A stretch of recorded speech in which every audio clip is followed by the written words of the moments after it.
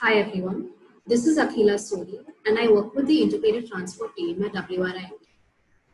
In today's lecture, we will look at how we can design safe cycle lanes for Indian cities. But before that, a quick introduction to why this is relevant today.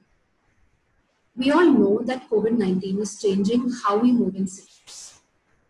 We know that earlier this year when the lockdown was enforced, there was a drop in travel demand in many Indian cities, and especially there was a drop in public transport ridership. But later in the year, as certain relaxations were made, travel demand did go back up. But along with it, we saw a rise in road congestion levels in cities like Mumbai, Delhi, and Bangalore, taking us back to almost pre-COVID levels. This also took us back to pre-COVID levels in terms of the air pollution levels, noise pollution levels, and so on. But along with this, there has also been a very interesting uh, trend, and that is over the last six months, India has actually been witnessing a mini cycling revolution. Uh, you know, in this sense, experienced riders across the country have been inviting new cyclists to reclaim roads with them. There's been over a 40% growth in the cycle industry, and several app-based companies have also been uh, planning their expansion to uh, several other uh, Indian uh, cities. Along with this, the government in places like Kerala, Chennai, and Kolkata introduced initiatives to prioritize cycling. And uh, as recent as July, the Ministry of Housing and Urban Affairs launched the Cycles for Change Challenge, which was basically to help make cities bicycle friendly post uh, lockdown. And in some cases, like in cities like Bengaluru, the implementation of cycle infrastructure is underway. We've been working very closely with the DULT, BBMP, the Smart City Corporation, the Bangalore City Police to deliver a cycle track along the outer ring road as well as two lanes within the smart city. This phenomenon is taking place at a global level where cities are very quickly implementing ambitious schemes that repurpose street space while prioritizing cyclists and pedestrians. And we'll see more examples of this later on in the presentation. But what is important for now is this that cycling has the potential to emerge or has likely already emerged as a very safe, resilient, and reliable travel option. This helps people to sort of meet their travel and mobility requirements, but also gives them, you know, the opportunity to step out for their uh, mental and their physical health. What is important to note now is that these lanes, as we see them popping up across the country, they will form the foundation for future bicycle networks in the country. And this is why it is extremely important that we get them right from the start. And in all of this, we prioritize the safety of the cyclists while doing so. So how do we create a successful bike network? What are some of the guiding principles we must follow? And how do you design safe bike lanes? How do you look at management and uh, enforcement and uh, communication around you know these bike lanes. The rest of the presentation will focus on answers to these questions and uh, I invite my colleague Nikita to take us through the Safe Bike Lane Guide prepared by WRI. Over to you, Nikita. Hello, viewers. My name is Nikita Luke, and I'm a Senior Project Associate with Health and Road Safety at the World Resources Institute. Today, we will be looking into the various design guidelines and measures as suggested by experts from around the world to help us create safe and comfortable bicycle lanes in our city. So let's get right to it. As we all know by now, traveling in crowded buses or metros and even taking taxis has become a risky option. As a response, cycling has become a popular travel option. Therefore, cities around the world are rapidly finding design solutions to accommodate more cyclists and pedestrians on their streets. As you can see in the examples here, cities are replacing one or more car lanes by two cycle lanes. And India has joined this effort in promoting safe and comfortable cycling infrastructure. So many of you might be wondering if cycle lanes lead to more traffic congestion. Let's find out.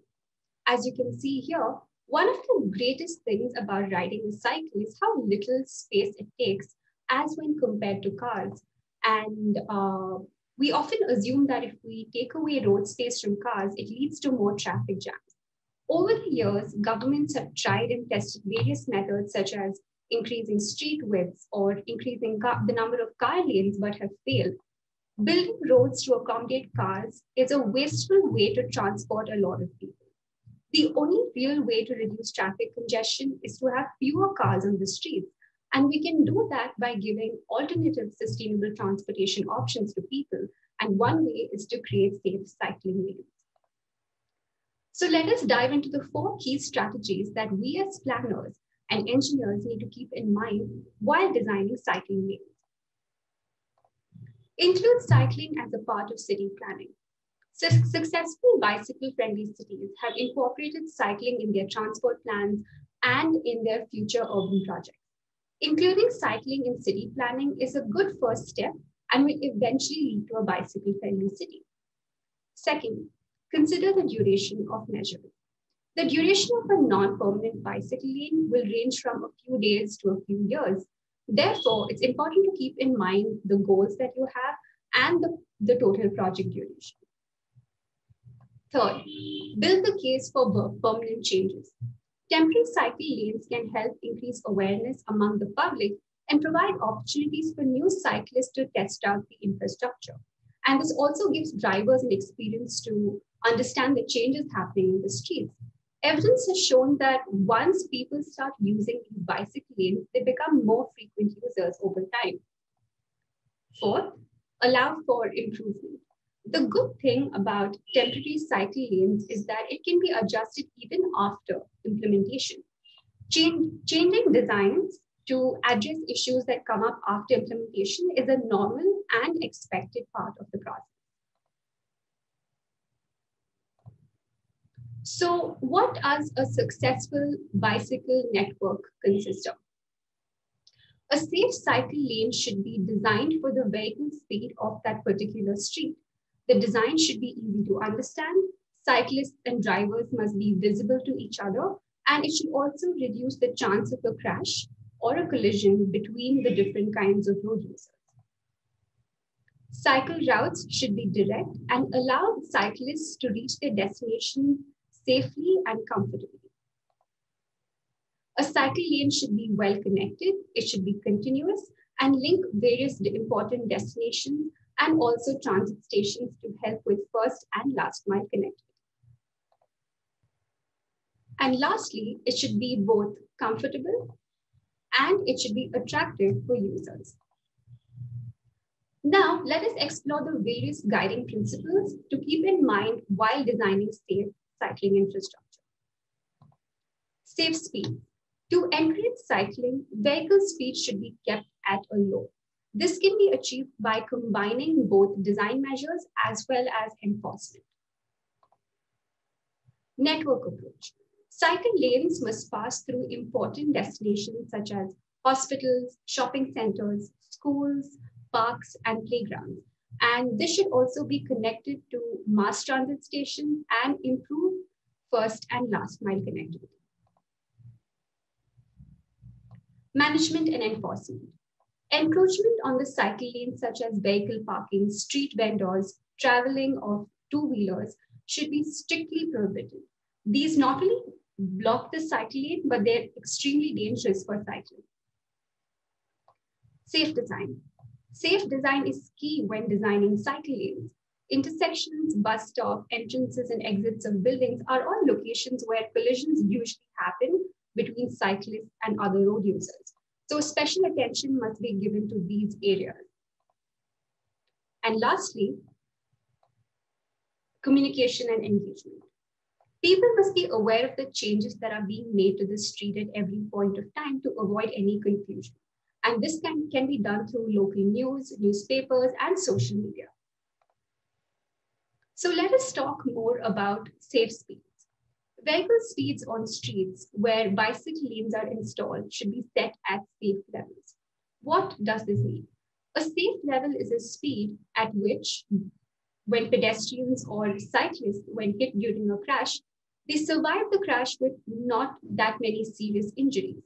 And for an average sized adult, a safe speed is approximately 30 kilometers per hour. So let us look into how we can achieve these safe speeds in our neighborhoods and cities. We can start by implementing low speed zones. Low speed zones are areas in your cities or neighborhoods where cars are only allowed to travel at a speed of 20 kilometers per hour or 30 kilometers per hour. Consider street closures. Many cities are briefly closing down their streets to cars. This is one way to provide safe and dedicated spaces just for pedestrians and cyclists. Collector roads and arterial roads are roads which good quality cycling infrastructure is really, really important. And the higher the vehicle speed and volumes, the more measures required to protect the cyclist. The right kind of separation between the cycle lane and the car lane must be based on the assigned speed on that particular street. Design for speed management. When bike lanes are installed, it is important to also implement measures that can help reduce the adjacent vehicle speeds and these can be done through speed humps, chicanes, and other design measures. Take a network approach. Cycle lanes need to pass through important destinations. Connections between origins and destinations need to be as direct as possible to make the travel easy for the cyclist. Consistency, consistency across network, the design and implementation of the whole bike network should be should follow a visual identity and a certain design standard. This can be done with the help of signages, maps, road markings, and if possible, materials. As we all know by now, a successful bike lane is one that is safe and comfortable for cyclists. But what are these measures that experts consider safe for cyclists? My colleague Wei Li will now help you get a better understanding of the various and simple design measures and considerations that you need to keep in mind while designing cycling. Over to you, Wei. Hello, everyone. My name is Wei Li. I'm a research analyst for sustainable transport in WRI China, and I'm very glad to walk you through the rest of this guide. As for how to design safe bicycle infrastructures, we need to keep these three principles in mind First, we need to design the bicycle lanes for safety and physical distancing. And second, we need to design the bicycle infrastructures limit conflicts at intersections, bus stops, driveways, and with other traffic modes. And thirdly, we should use the appropriate materials for each situation and consider the duration of each intervention.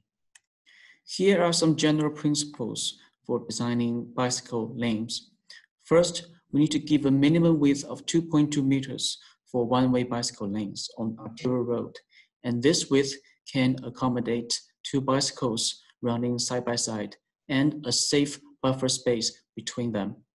And second, we should consider the lane placement. We should place bicycle lanes at the same direction as other traffic, and the bicycle lane should be next to the sidewalk. And thirdly, we should consider the entry and exit of the bicycles. And the bicycle lane design and dimension must provide safe spaces for slowing down, stopping, and dismounting.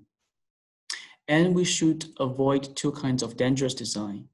The first dangerous design is a counterflow, that is bicycle lane going on the opposite direction without the traffic.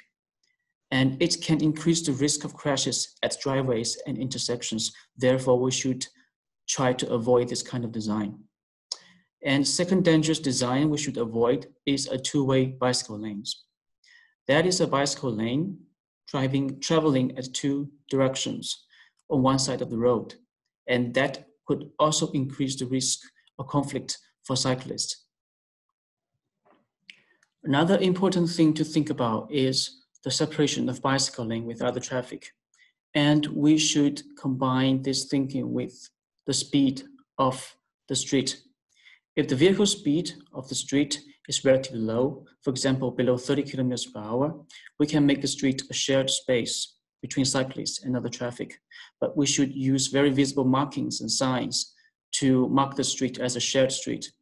If the vehicle speed is going up from 30 to 50 kilometers per hour, then a kind of separation is needed between the cycle lane and other vehicle lane. And we can either use some soft forms and temporary forms of separation or use more solid and concrete forms such as a curb. Intersections is one of the most dangerous places for cyclists, and we should design safe intersections for cyclists. And we should follow these principles. And first is visibility. We should increase the visibility between cyclists and vehicles. And in this aspect, we need to do three things. First, we need to remove the vehicle parking at least 10 meters before any intersection so that drivers and cyclists can see each other clearly. And second, we should mark the intersections with very visible bike markings so that drivers will notice bicycle cyclists crossing the intersection. And thirdly, we can use bike boxes to put cyclists in front of the drivers so that they are more visible. And the second aspect to, design a safe intersection for cyclists is considering the turning movement of vehicles. We can do these three things. First, we can put the stop line of cars at least five meters from the crossings.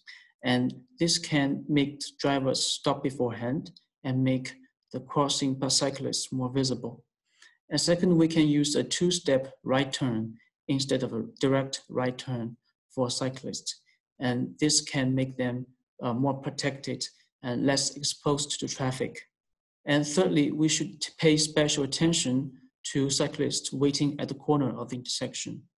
And we can use curb expansions or small refuge islands to protect the cyclists uh, from the turning uh, vehicles.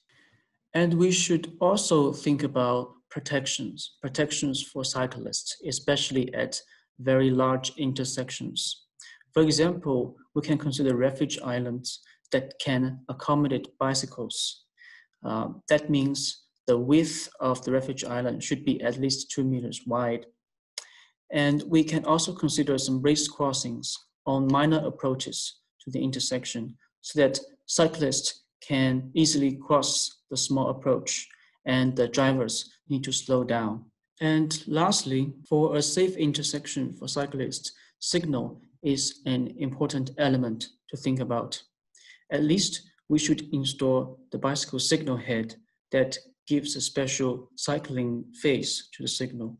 And we should give enough time for cyclists to cross a big intersection. And if there is conditions, we can give cyclists some signal priorities that means they can go several seconds before the drivers, and that can make cyclists more visible. And we can think about uh, the green waves. That means if cyclists are traveling at certain speed, they will always arrive at intersections with green signals, and that can make cycling more convenient. As mentioned before, safe bicycle lanes should minimize any major conflict that could lead to serious crashes. The first conflict is between the parked cars and cyclists. And parked cars can obstruct the views of all road users and may cause crashes. If possible, car parking should be removed when installing bicycle lanes. But if we need to keep the, the parked cars, we should consider this design as shown here in the cases of New York City and Philadelphia. The bike lanes should ideally be placed on the outer side of the parked vehicles so that the vehicles can protect the cycle lane. And we should place a buffer zone between the parked cars and the cycle lane so that when drivers or passengers coming out of the cars open the door, the door will not hit the cyclists. The second major form of conflict is at bus stops. When a cyclist is passing through the bus stop in front of it, and when a bus is approaching or leaving the bus station, a conflict usually occurs. And this conflict can be resolved by a bypass bus stop design or a floating bus stop design, as shown here in the case of Seattle. The cycle lane will usually go after the bus, bus stop so that there's no conflict between the cyclist and the buses.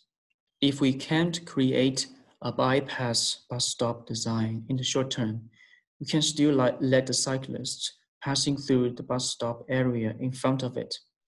In this case, we should use special design to make cyclists safe. We can use very visible markings to mark the space of cyclists and buses, such as shown here in this photo from Taiwan. And we can also use traffic calming measures and traffic warnings to slow down the buses and cyclists before they approach the bus. And finally, we should also pay attention to the conflict points of entrances to buildings, to garages, and to driveways. Uh, we can use markings to make these minor entrances more visible to cyclists and the cycle lanes more visible to the drivers. And we can also elevate the surfaces of this stretch of bicycle lane and tighten the turning radius so that the speed of vehicles turning can be slowed down. In addition to design, we should also use management and good enforcement to maintain the safety of cycling infrastructures. We can use technical measures or traffic police to enforce the speed of vehicles traveling beside the bicycle infrastructures. And we should prevent lane from any kind of encroachment. For example, by street vendors, by motorcycles, or by delivery vehicles. And we should manage large delivery freight vehicles that are parking on cycle lanes. Uh, this could be pose a danger to cyclists when people are loading or unloading freight from these big vehicles. And we can hire guides or intersection coaches to help new cyclists to adapt to the new design of intersections. We can also use communication and engagement to promote the image of bicycles and to hear the feedback of cyclists. We should involve the community and use their feedback to continuously improve the bicycle infrastructures and trying to make them permanent. And we should communicate clearly with the public how the street design is changed and how they should navigate through the network. And we also should use communication methods to facilitate good behaviors of both the drivers and the cyclists. This diagram here summarizes the key strategies, principles, and indicators for building safe bicycle lanes.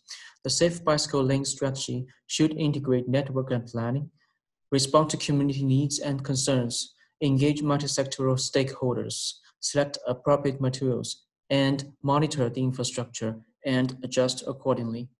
The key principles of for creating the bicycle network with the required key performance indicators are safe car speeds, network approach, safe design, management and enforcement, and communications and engagement.